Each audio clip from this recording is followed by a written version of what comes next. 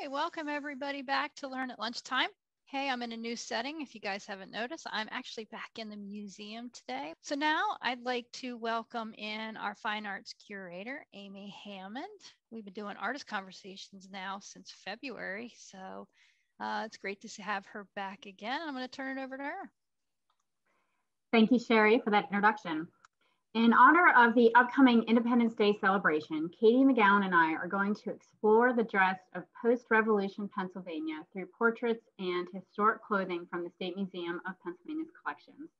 Portraits and historic clothing are a natural pairing when examining fashions of a specific era, and the examples we will be sharing today offer insight into the influences on America's version of Regency fashion.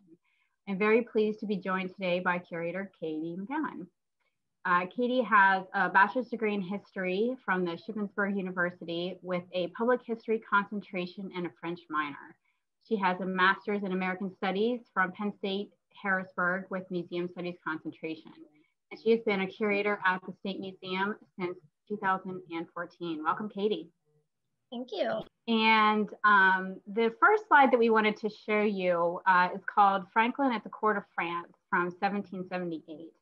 And Katie and I wanted to begin with this engraving because it's a great example of the contrast between American clothing and elaborate European styles. Uh, the print was produced in the mid 19th century to honor Benjamin Franklin's success in securing French support for the American Revolution. And Benjamin Franklin is shown uh, at the center. He's entering a celebration hosted at Versailles by King Louis XVI and Marie Antoinette. And both of them are seated uh, at the, on the right side. And as you can see, uh, Benjamin Franklin looks very conspicuous in his plain suit in the room of elaborately dressed men and women. And this was a strategic decision by Franklin, but it also reflects the use of fashion to represent the Amer emerging American identity. And Katie, what is Regency fashion and why do you find fascinating about it? So when we say Regency fashion, we're referring to that early post-revolutionary period in the United States between about 1780 to 1820. Um, to talk about dress, you might hear me use the terms Regency, Federal, Empire, even Neoclassical. Um, they're all referring to this same period of time. Um, and what I find most fascinating about clothing during this period is the uh, drastic changes that we see in fashion in a very short period of time. This era is really unique from the times that surround it. So I'm just going to briefly describe what people were wearing prior to these changes first and how we end up where we get in that um, early, in our early nation's history. Um, so this slide here, prior to the American Revolution, we are relying a lot on British and French imports um, of textiles. So those influences are going to be the strongest on clothing that we are wearing in the United States. In the 17th century, um, Great Britain set up the Navigation Acts, which are prohibiting the colonies from direct trade with other countries. There were many ways in which people got around these laws, but um, the point is, is that materials are actually arriving pretty quickly and efficiently to the colonies after they are produced. Um, there's often a misconception that there's a great lag in time between when fashions are coming to the colonies, and that wasn't necessarily true. Um, one traveler to the colonies in this period um, observed that in the log houses of America, female dress was composed of the muslins of Britain, the silks of India, and the crepes of China. So we're getting a lot of um, materials from a lot of different places during this time. The waistcoat on the right-hand side here is likely French. Um, these were often embroidered on long panels of silk, and then they were sent uncut um, from France for tailors to finish over here, which would have saved time and money. Um, this one is a pretty, you know, um, good example of that, about 1775 to 1785. So this is just, you know, right at the end of that revolutionary period.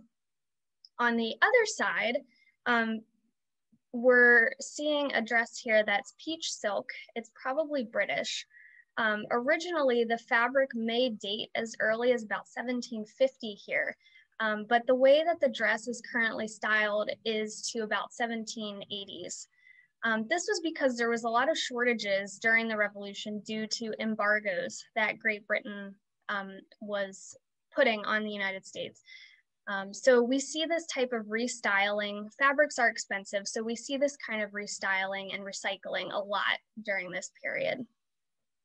And we also have to remember that American manufacturing was in its infancy um, in the late 18th century. There was no large scale factories that were able to produce large enough quantities of fabric for to meet that domestic demand um, for textiles. Homespun was still kind of a cottage industry at best and was generally reserved for things like bed linens or small clothes like shirts or things like that. Um, here are two examples from our collection. One on the left is a resist dyed um, cloth fragment. And then we have a homespun linen check. And I pulled a quote from Martha Ballard, um, who some of you may have read, uh, has a diary that she kept right smack in this period from about 1780 to 1812. And she describes many instances where they are actually weaving in the home. Um, in Cumberland County, the rate of loom equipment in the home did jump from about 5% of homes with looms in 1770 to 20% in 1780. So we see a slight increase, but it just wasn't enough um, to meet that demand for clothing. So this federal period is seeing the United States struggling with forming this new identity that's independent of Great Britain. So clothing will then become a major statement of not only the individual, but the nation as a whole. And we're going to see how clothing gets interpreted in this early period of our history through some more clothing and portraits that we're going to talk about. Um, so this is our first portrait that we're going to discuss, and Amy's going to tell us about it. This portrait was painted by Charles Willson Peale in 1789, and the subject's name is John Adlum, and his life very closely aligns with the American Revolution in a lot of very interesting ways. Uh, he was born in York in 1759. He joined a militia after attending a Stamp Act rally. And he was captured at Fort Washington in 1776. He was released. He went back to York and he lived there for a couple of years be before he began to study as a surveyor. And he uh, was declared the state surveyor in 1789. And this painting was created in celebration of that promotion to state surveyor, and it is really meant to be an advertisement of his skills. He's holding a compass in his hands, and he's leaning on a table that has surveyor's travel equipment, tools, uh, there's documents there, and maps, uh, just showing the work that he was doing at the time. He is about 30 years old here, and he's looking to establish his social station among the men positioning themselves within the new nation. And um, Katie, what kind of clothing is he wearing in this portrait? So he, and, again, with paintings, we're sort of taking our best guess as to materials here, but he likely has on a wool broadcloth coat and either uh, vest and breeches or even trousers that are made of either buckskin, wool, or maybe even leather. Um, you can kind of see at his neck, he has a lot of ruffles going on. He might have a cravat there um, and some more ruffles on his cuffs.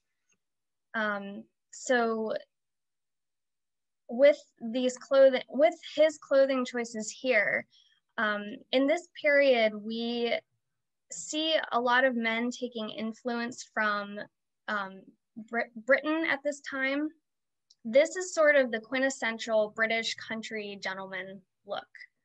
Um, this was the type of outfit that they might have used for sporting and hunting, um, especially using those rougher materials like wool and leather.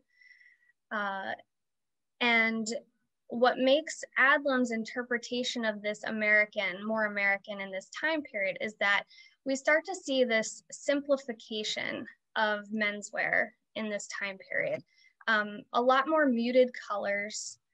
Um, also, you know, fabric choices that may have been made domestically. Um, there's a quote that I have from a scholar here that says, plainer male dress was heralded as an emblem of liberty, parliamentary democracy, enterprise, virtue, manliness, and patriotism. Um, so Adlum's clothing choice here is modest. He's got, you know, these neutral colors going on, durable materials that are well suited to this new American climate and terrain that people are finding themselves in. And it would be an outfit that's appropriate for working both in rural and urban settings, um, which is kind of unique to uh, some Americans in this period that go from, you know, maybe having houses in the country, but yet they also have business in the city. And with Adlum being a surveyor, you can see this very well because he's highlighting his surveyor's equipment right in this painting. Um, also with the fact that he has this navy and buff combination going on, you might see a bit of resemblance here to other paintings of this time period that feature George Washington. Um, Washington was painted several times in this blue and buff combination.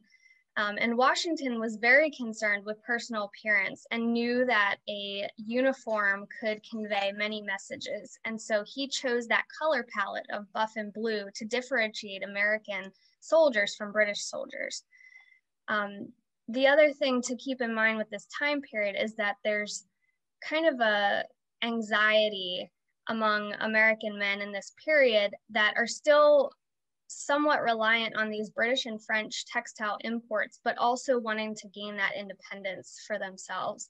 Um, there's not really the same kind of class hierarchy in America as you see in Europe with the aristocracy and the classes and things like that. So Adlum here is concerned about um, using his dress in a society of essentially equals. Um, and we actually have an example of Adlum next to Washington um, here that Amy was going to tell us a little bit, because one of the things I find interesting is that Peale, the artist, is painting both of these men. So Amy, what would that say about these portraits? Thinking uh, from the perspective of John Adlum, he struggled financially throughout his life, but he was always connected. And some of his connections were uh, familial, but he also worked to build a network because, you know, he understood that this nation was developing and he was trying to, to establish his position. And uh, Charles Willson Peale and Adlum were both Revolutionary War veterans. And uh, Charles Willson Peale painted the first official portrait of George Washington in 1779 but the artist was well established and he remained connected to Washington throughout his life. And he also painted a number of other founding fathers. So uh, John Adlum would have been aware of this and he commissioned the pricier older artists to portray him as part of this group. So uh, you can see just by looking at these two paintings side by side that uh, John Adlum is certainly was certainly aware of, of George Washington's style, and he uh, you know wanted to be seen as as part of that group.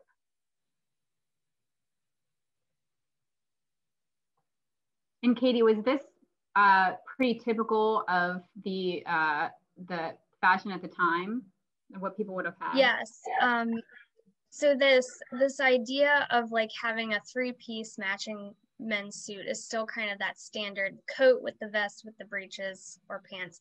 But we begin to see this kind of changing a little bit by the early federal period where you could have clothing that maybe could mix and match a little bit more. It didn't have to necessarily all go together. Um, so we have Adlum dressed in this buff and navy color. In the United States in particular, you see this greater emphasis being placed on these drab neutral colors as the dominant colors among men, like brown or navy, um, without having these settings, like these social settings that you see in Europe. Um, bright colors are not really a necessity. That's not to say they don't exist, because they definitely do, but it's definitely more in vogue to dress in these darker neutral colors. Um, I have an estate inventory here from about 1800 that shows kind of a uh, comparable male wardrobe in this period. And as we can see here with David Cameron. He was a Philadelphia stonemason.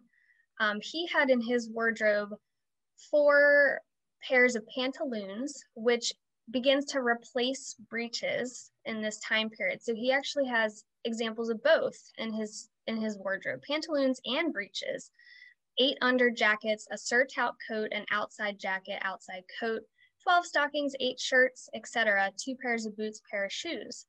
Um, so what interested me about this inventory is that he has boots and shoes. It kind of indicates a little bit of somebody who does work, but also has social interests, um, as well as the surtout coat, which is sort of considered a military coat in this time period. It would have covered up the rest of the uniform. Um, so this is, you know, pretty typical. What Adlum is wearing would be pretty typical for this time period. So we're jumping back to this print again. Um, so going back to this idea of great change in fashion, we can see, you know, Franklin sticks out like a sore thumb in this picture. Um, the French court is very lavish, a lot of patterns, trimmings, uh, big hair, big skirts. Um, so we're gonna compare this image here from 1778, which are with our next painting, um, which is of Rachel Maris and son George dating to about 1812. So we're going to go from this look to this look in about a period of 30 years. So Amy's going to tell us a little bit about this painting here. Uh, yeah, it's, it's exciting to switch to to women's fashion because I think there's uh, there's a lot going on here. And uh, this portrait was painted by Thomas Sully, and it's of Rachel Maris with her third son, George. And it's really presenting her as an ideal mother. And the Maris family was were wealthy merchants that lived outside of Philadelphia. And this portrait would have been hung in the family home. And it was painted in uh, 1812 to 1813 at a time when the perception of the ideal mother shifted a little bit to a more sentimental and nurturing version, which is definitely obvious here in the way that she interacts with George. And neither one of them is looking directly at the viewer. They're, uh, you know, they're focused on each other. And um, the ideal Republican mother was important to the future of the new nation because her sons would be important to the growing economy and the successful future of nation building. And uh, Katie, how did women's fashion change during the Regency period? Yeah, so menswear is getting its inspiration from the British. However, women are getting theirs from the French. Um, and France during like the um, early 19th century becomes more of that dominant influence on fashion. Um, we can see with uh, Rachel Rachel's dress here, an extreme narrow silhouette. We got long narrow skirts with high waists, um, either capped sleeves like she has here or long sleeves, and often paired with draping like shawls or hair turbans. Um, I do have two examples of fashion plates from this time period. Um, so the shawls and turbans are being inspired by Eastern fashions that are being brought to light with Napoleon's um, Egypt campaign and also excavate archaeological excavations that are occurring that are uncovering ancient Greek and Roman sites during this time period. Women are digesting these fashions through fashion plates like this, as well as uh, or other early publications, women's magazines, as well as other women themselves. Um, Marie Antoinette had tried bringing this white dress look into fashion much earlier. Um, in about 1783 there's a very famous painting of her in a white dress that caused a great scandal. Um, but society just wasn't ready for that look yet in the 1780s um, but she was doing that in order to come to a more simplified method of dress um, and this desire to simplify the way dress looked led to this neoclassical slimming down of fashion. Um, Abigail Adams is quoted as saying about fashions of this time period that dresses are made so straight before as perfectly shows the whole, whole form. And another woman, woman observer, Margaret Bayard Smith, described a woman as Madam Eve and her dress the fig leaf. So there's definitely this emphasis on the human body, how this, this draped fabric um, is accentuating all of those details. And the reason why we're choosing the color white here is a little bit significant too, because when they're doing these excavations, the marble statues of the ancient world, they're coming up white out of the ground, even though they would have been painted when they were, you know, new. Um, so that's why these dresses are showing up as white in this time period. Um, so with with Rachel's dress here, um, it's likely made of muslin, possibly even silk. You can barely see it in this painting, but draped over her forearm is like the most sheer shawl on it with a little bit of embroidered detail. Um, this would have been a, imported from India um, since they were considered the finest source of these sheer shawls at the time. And it makes sense that she would have that because her husband was a merchant. Um, so it's very much showing her station in society as well that she can keep up with those latest trends here. And I imagine this was probably a little bit more comfortable than Yeah, definitely. Uh, women like the the corset you know, women are wearing stays in the 18th century. The corset is, they had a very short corset for dresses like these, um, but definitely a lot more freeing where your entire torso wasn't um, constricted in this time period. Um, changing gears just slightly, we wanted to contrast Rachel with uh, another dress in our collection here. Um, this one is the wedding dress of Elizabeth Chapman Blackfan. She wore it to her marriage in 1822. So it's just a little bit later, but still very much the same silhouette. It's got that high waist, that empire waistline, um, that long skirt. Um, and what's interesting about this is that Elizabeth and her husband were Quakers. Um, so their wedding announcement does appear in Quaker records um, of this time period. So Quaker fashion has a really defined aesthetic. Um, we see this really clearly that, you know, Rachel is choosing this gold. It's a very subtle gold color. Um, they favored more neutral color tones. That, but what's interesting is that this dress is very, very high quality. The silk on it is absolutely stunning. It looks brand new.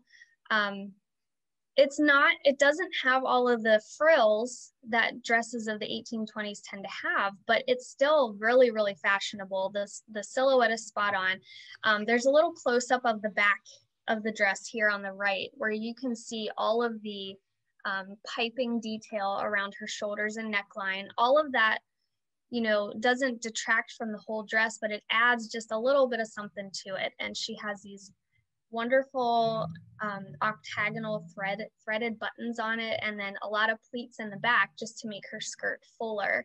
Um, so while it is a Quaker dress, it's by no means unfashionable or plain.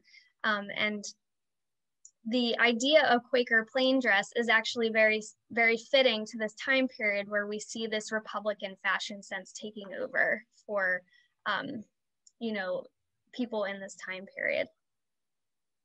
Um, so we are going to go back to Rachel Maris and son and bring in another son um, to talk a little bit about what children are wearing during this period.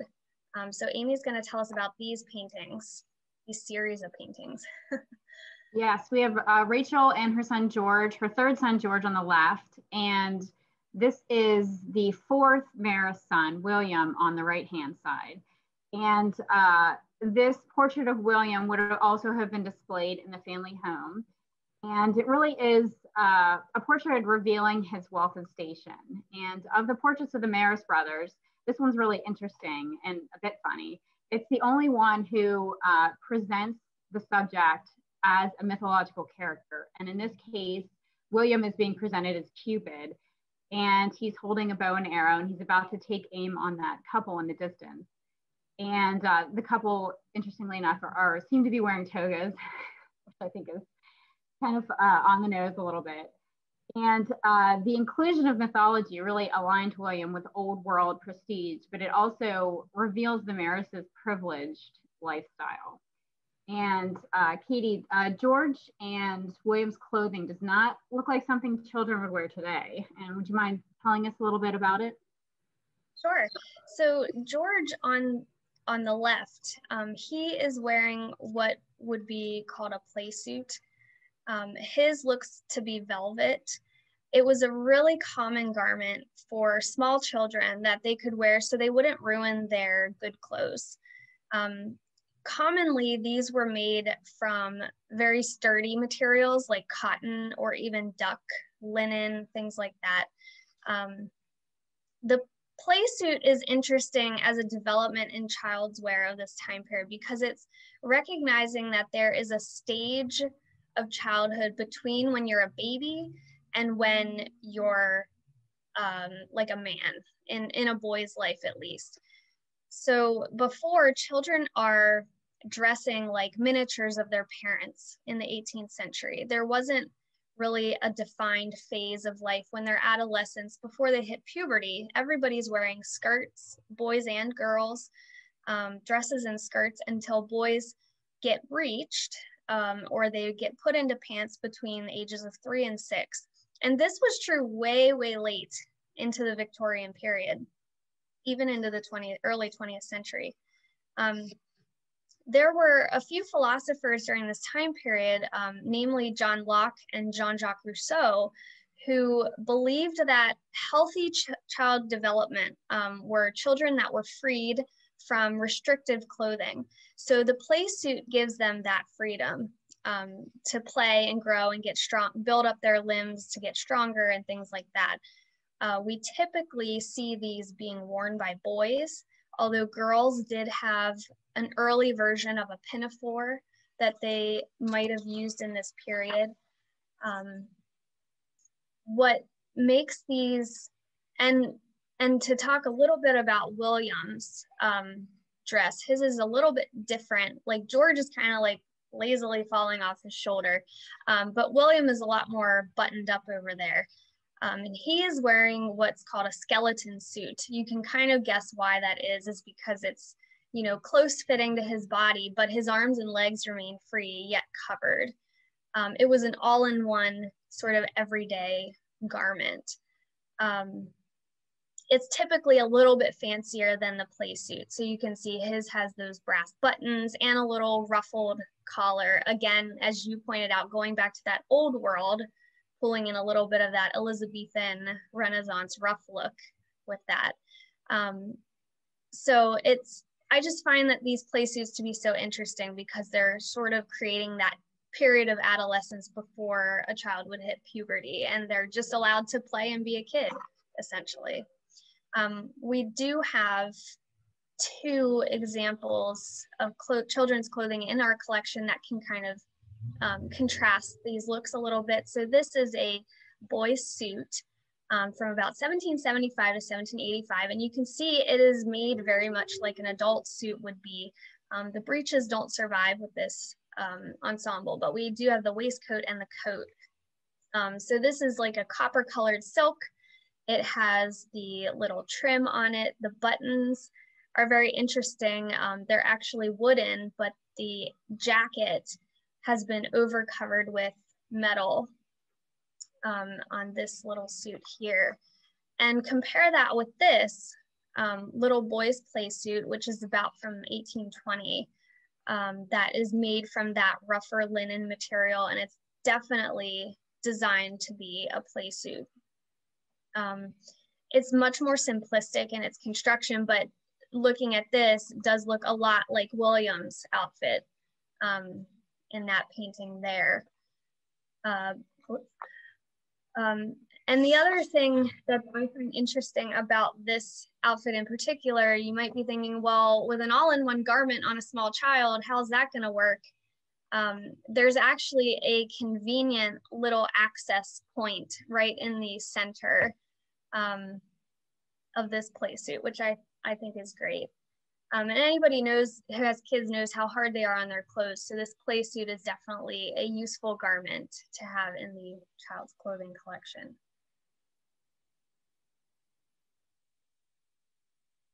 Amy, did you have anything else that you wanted to say about the William Marras painting?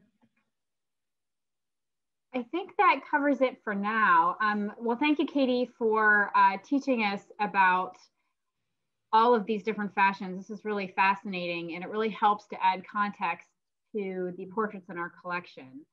And it's very interesting to think about uh, people emerging with a new American identity in, in the post-revolution era. And I think we're at a good place now to turn to a question and answer. And uh, to start, Katie, how much clothing from this area era survives? Um, actually, quite a bit of clothing from this period survives. Um, silks, especially from this time period, are very well made. They're high quality, and they're actually a lot better um, than later Victorian examples because in this time period, they're not being overwashed with as many chemicals as those later silks are. Um, so quite a bit of this clothing survives. I know I there's tons and lots of museum collections around. Um, our collection is a little slim uh, when it comes to this time period, which I find interesting. Um, but generally speaking, yes, a lot does survive. Who was making the clothing during this time? Um, oftentimes you have with men's clothing, you have professional tailors that are making menswear. Um, it's believed that you needed strong hands to work with strong fabrics. So when the men's clothing is made from those, you know, very sturdy, heavy materials, that's being done by men generally. Um, women were often taking dresses to people called mantua makers. A mantua was a type of garment that was popular in the middle to late 18th century. Um, but there are, you know, seamstresses that are finishing clothing, and often people are skilled enough to make their own, you know, minor modifications to their own garments as well. Um, with children, uh, those are often being made from adult garments that are cut down. They might get hand-me-downs from other siblings. Um, we see that a lot uh, recycled things with children's clothing, um, which is interesting. It is. We have a question here about uh, Rachel Ross Maris. Is the brown fabric on her lap part of her garment or is it protecting the delicate fabric of her dress? A good question. Uh, from my eye, I would call that an artist prop. What do you think, Amy? I think that it could definitely be a prop. Maybe it was used to create a contrast, you know, to kind of define where her her legs are and to to highlight their hands together because if, you know, with their skin being as fair as it is, if they had their hands on her lap, it might have not been as noticeable. There is kind of a um, a trend with paintings in the 18th century, especially. There, there's this big period of what we call faux fashion that appears in portraits, where in order to create a portrait that wasn't like super dated, you would see a lot of these like drapey, like mythical type of cloth that got draped over the figure. And that was kind of a technique so you wouldn't be able to say, well, that portrait was made in 1760 and it's now 1780 and now outdated. Um, you see that less and less as we move into the 19th century, but it appears that, um, you know, Sully may have been going back to some of those earlier portraits for inspiration too. And uh, here's a question here um, about fabrics. In early federal America, do you know what percentage of silks used for clothing would come from Asia, India, as opposed to France or Britain? And it says that they may have been made by the descendants of French immigrants to uh, Spitalfields in London. Yeah, Spitalfields was a huge, huge center for silk production. And it, it kind of comes in waves. It, it, there's periods in which Britain is importing raw materials from their colonial outposts Um, India was more for cottons, I believe. Um, silks were produced in very lar- large quantities right in England, so that's definitely true. And they believe the reason why the French are working in Spitalfields is because they believe they had the strongest embroidery skills. So French Huguenots are coming to London um, in the 18th century to work on these these uh, and this peach dress is a perfect example of that. This could have very easily been made in Spitalfields. Um, so as, in terms of percentage that's coming from Britain, they they would have answered 100% of silks coming to America are coming from Britain. Um, but there's a lot of complicated parts that go into you know where the silk is coming like where it starts versus where it ends up so i think it's fair to say that there is a great majority of silks are coming from britain to america. I'm glad you went back to the peach dress. Uh, yeah. we have a question here. Was that a, a petticoat quilt underneath the peach floral dress in the image? What was the last part that you just said? Was it a, a petticoat quilt underneath the peach floral dress? Yes, it was. Um, I have not verified this, but I believe it to be Marseille quilting. It was a very distinctive type of quilting that was often used in uh, pieces like that at this time. But yes, that is a petticoat underneath. I have this one styled in the what was known as the robe à l'anglaise look, which was that open fronted robe. The French had their own version of of this type of dress during this time period too that was called the robe à la française. So it was always France and Britain kind of competing for those fashion, um, you know, what was going to be the latest in fashion. So you see both styles in this time period. We have a question here about the blue and buff colors. Um, my understanding is that those colors were worn by Whig Party anti-royalist members in Britain. And since patrons often referred to themselves as Whigs, they deliberately selected those colors for that reason. Uh, does that seem plausible? I, I don't know exactly what Adlum's political affiliation was. Um, I'm sure that that probably could have been the case once political parties become more established in the United States. And I know color symbolism becomes really big for, for that later. Um, I don't know if Adlum necessarily would have thought that when he chose this because he is essentially modeling that off of Washington, who's doing it even earlier yet. Um, so I think it could be coincidental, but I don't know enough about Adlum's background to say yes or no to that. And uh, we have a question here. Um, was there a gender divide on pockets? And why hasn't it been updated to provide women with the same as men?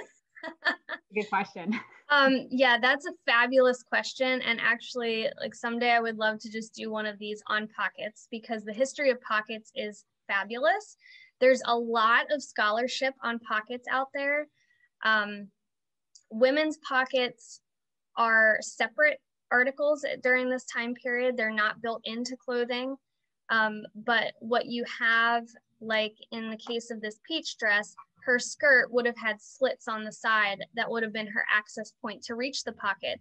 But to put an entire pocket within the dress would have been too lavish for how expensive fabric was. So that's why they were separate pieces. They were always usually made from cotton or linen, and they were enormous. Like you could fit a house in one of those pockets. So I don't know that I would have wanted it to be built into the dress, to be honest, because it just wouldn't be roomy enough. Right. The vest in the on the right hand side here does have that is a real pocket and it's pretty wide and flat but men actually had separate pocketbooks in this time period what we would probably call a wallet today they had their own version of that too, in which they're carrying their own um, personal things. So they had separate pockets as well. It wasn't just, you know, only the women. But yeah, pockets. well, really it's cool. interesting because women's dresses now have pockets once again, many of them. So it's yeah, come back. Very practical. Yes. and uh, we have a question here. I know you're excited about. Uh, what chemicals were used to uh, dye and wash silk? oh my gosh, I couldn't I couldn't possibly answer that like in a timely fashion. It is so the history of dyeing fabrics is so very complicated and I I tried to go down that rabbit hole for this and you just it's so fascinating. Like it is so fascinating. So there the way in which fabric was generally dyed is you have to have your dyeing substance and you'd have to have your mordant to set the fabric. And in order to achieve a particular color, you had to have your particular substance and your mordant. So it's a very complicated bit of chemistry. Um, but there are um, actual manuals from this time period that are online. I found a couple um, in the course of my research. So we can definitely put together a resource list if that's something people are interested in learning more about. There are primary sources for that out there. That's fascinating. And um, I have two questions here. Um, well, I'm going to ask uh, one question, then do a follow up question. Uh, were men and women looking at specific sources for inspiration, or how did they how did they know what they were looking for? Um, so they're looking to each other. They're looking at people who are, you know, early adopters of certain trends. There's always fashionistas and trendsetters in all the time periods of fashion history. Um, they're also looking at these fashion plates, which start to arrive in the United States directly in the 1790s. Um, there is accounts of Benjamin Frank, people like Benjamin Franklin and Thomas Jefferson who are spending time abroad um, in the Revolutionary period are bringing back these magazines back home um, to give to their female um, acquaintances. Uh, so they're looking to these things for inspiration. There's also um, slightly less common dolls. They're called so-called fashion dolls that are being exported um, from Europe to colonies in which they would have little, little miniaturized models of clothing fashions. Obviously, those took a lot longer to produce. And so I think generally that printed material is going to become the driving force for this after, you know, towards the 19th century. So they're getting it from a lot of places. And what would a common man wear while hunting during this period? Um, it says, I'm assuming the buckskinner is either a myth or mostly worn among true frontiersmen rather than colonial rural farmers and labor classes. Um, well, actually, I was going to say the hunting shirt is like its own thing in this time period. Um, Washington actually recommended a hunting shirt for a standard uniform for soldiers if they couldn't find anything else. Um, I don't know much more about it than that, unfortunately. Um, but I think it is fair to say that those very durable, heavier fabrics are probably going to be what you want to have when you're in a forested area, um, you know, just to protect your own self um, from the elements. So I think that's a pretty fair assumption to make. And things like buckskin and leather were produced in much greater quantity here um, than imported. The only thing that really would have been imported was the wool. Um, and that was sort of like a default uh, material choice for people in this time period was wool. Do you have a sense of how much a completed lady's dress would have cost during this time? Um, well, I know I found a really, really fun anecdote that when the White House was burned in the War of 1812, Dolley Madison lost all of her clothing, her entire wardrobe. And I believe she had to spend $2,000 to replace it. Um, I don't know what the conversion of that would be um, in today's time period, but I think it was like a good percentage of whatever the president's salary would have been in those days. So clothing is expensive. It it really depends on the material that is used. Silk is the most expensive, and then cottons are kind of the least expensive. Um, but it when you look at estate inventories of the time period, for example, uh, where did he go?